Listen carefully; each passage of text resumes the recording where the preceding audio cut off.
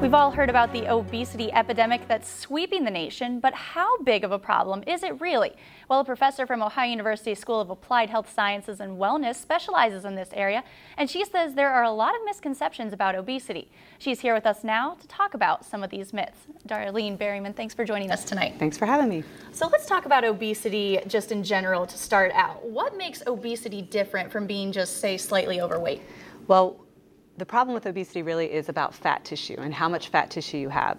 We usually simply use BMI as an indicator of how much fat tissue, but I want to point out that someone can be classified as overweight but still have too much fat tissue. So it's really about how much fat tissue you have, and there are a number of problems associated with the fat tissue mass a person has. So you gave a talk last month that talked about obesity myths. Can you talk about what some of these common myths are? Well, obesity, first of all, has a very, I mean, I shouldn't say obesity, adipose tissue has a very important function in the body. So excess amounts cause a lot of problems and a lot of metabolic dysregulation, but also having too little can cause problems as well. There's a condition called lipodystrophy where they have no fat mass and they have almost the exact same metabolic complications that someone is, that is obese has. So having some fat mass is really important.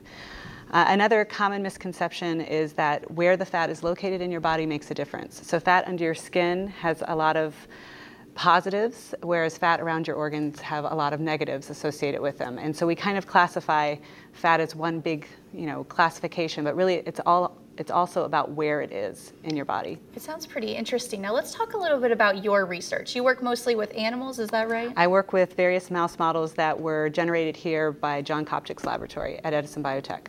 So how can you use the information you get with mice models and apply that to human beings? Well, John's lab has generated models with varying levels of growth hormone action. And growth hormone is an interesting molecule when it comes to adipose tissue because growth hormone decreases the amount of adipose tissue, but it also promotes diabetes. So John has generated models with various levels of growth hormone action, and those models have can be lean but very unhealthy and die young. And then he's got a mouse model that has no growth hormone action that's obese and is one of the longest lived mouse models on record.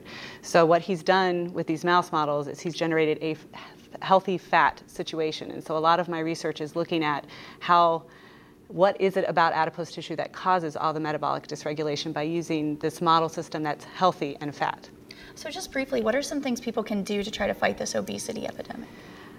There's a lot of things that they can do, but one simple thing for them to keep in mind is there's no magic pill. There's no one, you know, bona fide uh, that works for everyone. But it's it's a little bit it's a little bit challenging because we have a lot more to learn about mm-hmm.